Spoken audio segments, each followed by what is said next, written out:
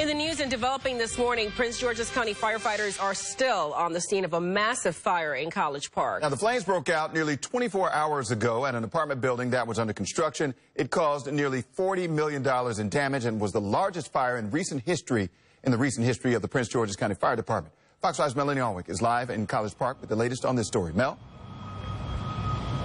Good morning, guys. Yeah, this eventually went to five alarms, 200 firefighters responding from uh, agencies around the area to try to battle this massive blaze. Uh, it is at this point a total loss. There is still a concern now about collapse, not only because of so much structural damage, but also because of the massive amounts of water that have just been pumped into that building. Now, yesterday, I talked to two construction workers who were in the building when the fire broke out. They gave me some pictures and video of what it looked like. Uh, right about 935, that was 936-ish. That's right when Prince George's County Fire Department got the call and responded here to the scene. There's a, there's a firehouse here, literally just around the block. And you can see they're saying it started like right near the sixth floor, the elevator shaft on the sixth floor. But despite their best efforts, firefighters 60 minutes later the video speaks for itself. You can see what it looked like. Alarms were sounded to pull all of the firefighters out of the building, and crews could do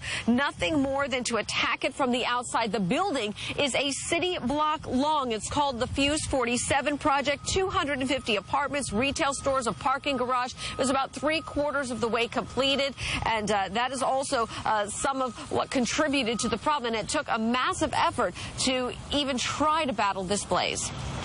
We did uh, use uh, the police helicopter Air One uh, that was able to get up and give us an aerial view where um, their um, video was streamed into this vehicle here. So we got a pretty good idea of what was burning.